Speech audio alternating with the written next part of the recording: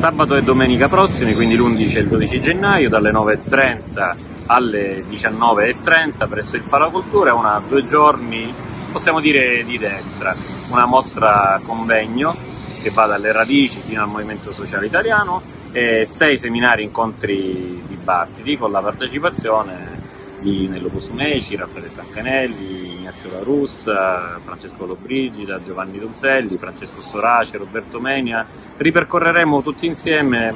la storia, appunto dall'origine sino ad oggi, di una destra diffusa, presente nel territorio, intelligente, sognatrice e visionaria soprattutto.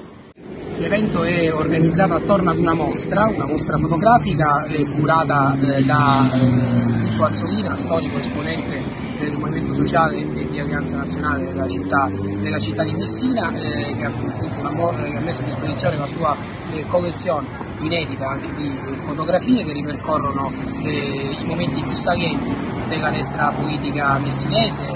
con le foto di Almirante a Piazza, a piazza Cairoli, e a Piazza Università e tanto, e, tanto, e tanto, altro. Attorno a questa mostra svilupperemo eh, sei sessioni con sei tavole rotonde, sei tavoli tematici eh, su diversi argomenti.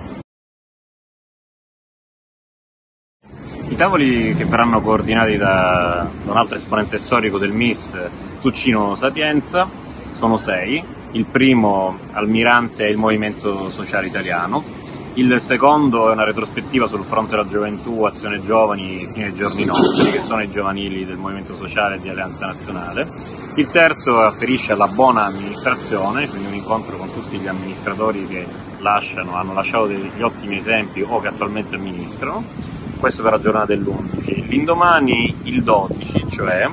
un seminario sul sovranismo e patriottismo, che sono dei termini molto in voga oggi in, e nel pomeriggio invece una retrospettiva su Almirante Berlinguer e chiuderemo magistralmente con la generazione 2020, cioè i giovani della destra italiana oggi, anche con particolare riferimento alle radici storiche nelle quali affonda la gioventù italiana.